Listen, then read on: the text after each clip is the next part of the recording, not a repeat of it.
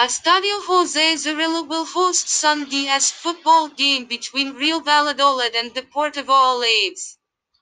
La Pucela are still eyeing their first win of the season, and we are positive that they are going to leave their hearts on the field.